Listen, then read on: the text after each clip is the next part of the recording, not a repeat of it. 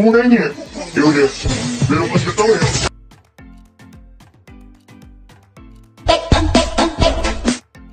Assalamualaikum teman-teman. Jadi kali ini aku bakalan buat tutorial video yang ada di depan. So sebelumnya jangan lupa like, comment, and subscribe. Langsung aja buka aplikasi CapCut, pilih proyek baru. Masukin titik bitnya, pilih tambah Klik tambahkan audio, pilih ekstrak Masukin lagi titik bitnya, pilih impor suara saja klik audionya, pilih GBG potongan. Nah, di sini kalian tinggal ikutin aja titik kuning yang ada di videonya dan klik tambahkan irama sampai akhir ya. Oke, kalian tinggal klik tambahkan irama, ikutin titik kuning yang ada di videonya. Kalau udah sampai akhir kalian bisa play dulu soundnya. Di sini kalian dengerin apakah beatnya udah sesuai atau belum. Kalau udah sesuai pilih checklist. Klik tanda plus yang di samping. Masukin satu foto dulu pilih tambah. Video titik beatnya hapus, akhirannya hapus. Untuk durasi foto pertama 4.7 detik ya. Kalau udah, kalian bisa perbesar dulu fotonya sedikit aja. Setelah itu, di awal sama di akhirnya kasih keyframe tetap ya. Nah, di antara keyframe ke satu dan kedua, di tengahnya kasih tiga keyframe tetap. Kalau udah, keyframe yang kedua, fotonya ke bawahin sedikit aja. Keyframe yang keempat, fotonya ke bawahin sedikit aja. Pilih animasi, pilih masuk, pilih pudar masuk, pilih checklist. Sekarang kalian bisa ke akhiran klik tanda plus.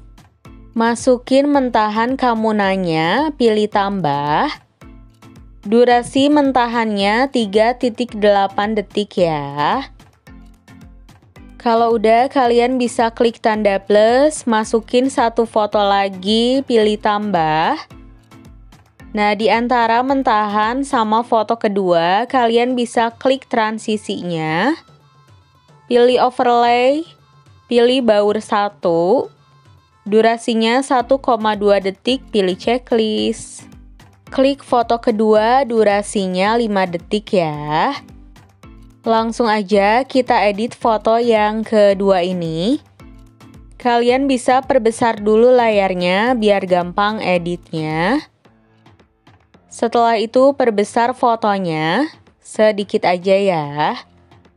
Nah, di titik bit yang pertama kasih keyframe tetap. Di titik bit kedua kasih keyframe fotonya perbesar. Terus ke atasin tapi jangan sampai mentok dan harus lurus.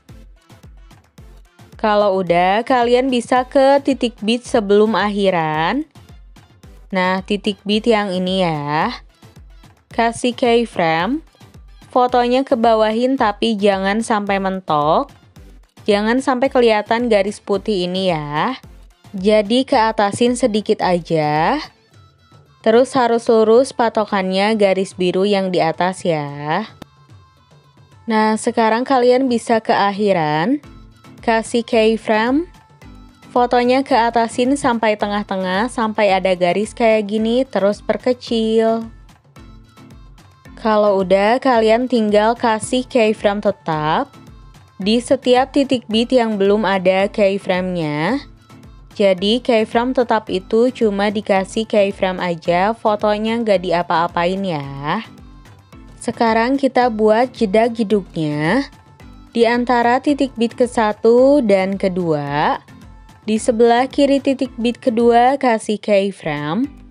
Fotonya ke bawahin terus ke kananin. Kasih keyframe tetap di sebelah kanan titik bit kedua. Kembali ke keyframe ini. Fotonya ke atasin sedikit aja. Kasih keyframe tetap di tengahnya. Kembali ke keyframe ini, fotonya ke atasin. Kasih keyframe sebelah kanannya.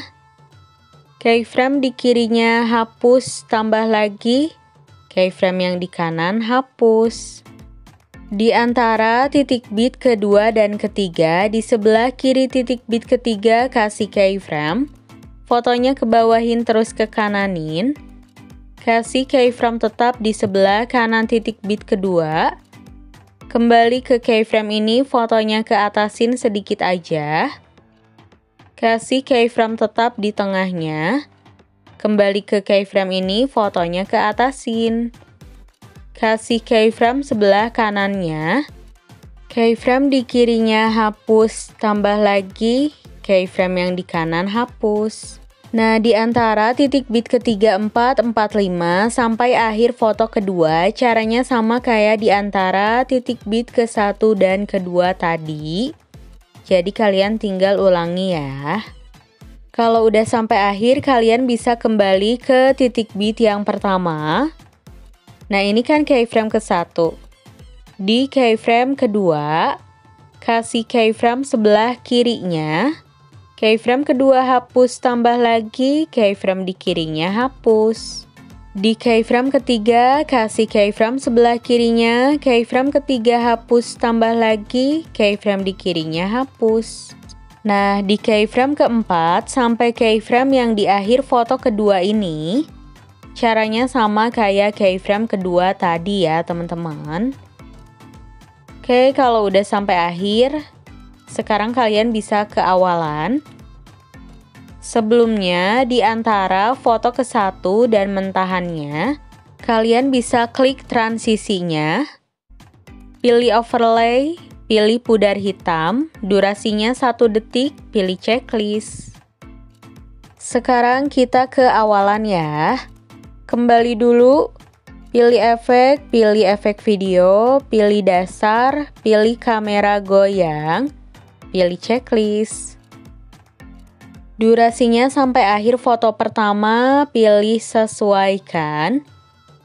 Rentangnya 5, kecepatannya 5, pilih checklist. Sekarang kalian bisa ke foto yang kedua. Di titik bit yang keenam, pilih efek video. Pilih dasar, pilih rombus zoom, pilih checklist. Durasinya sampai titik bit yang ketujuh ya. Di titik bit yang ketujuh, pilih efek video. Pilih dasar, pilih cermin, pilih checklist. Durasinya sampai titik bit yang kedelapan. Salin simpan di titik bit 9 dan 10 ya. Untuk efek yang terakhir, kalian bisa ke awal foto yang pertama. Pilih efek video, masih di dasar pilih vignette, pilih checklist. Durasinya sampai akhir. Sekarang kita tambahin teksnya ya. Kalian bisa ke awalan, kembali dulu. Pilih teks, pilih tambahkan teks. Terus kalian bisa tuliskan teksnya di sini. Untuk teksnya sesuaikan aja sama keinginan kalian ya.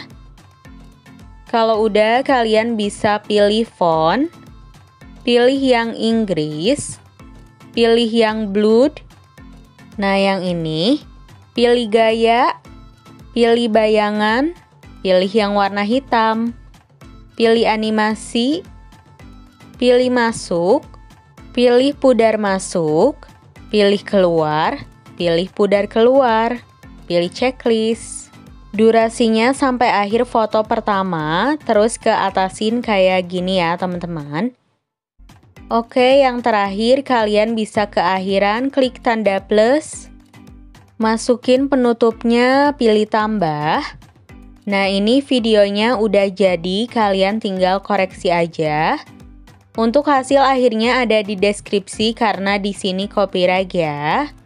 Segitu dulu tutorial dari aku, see you the next video.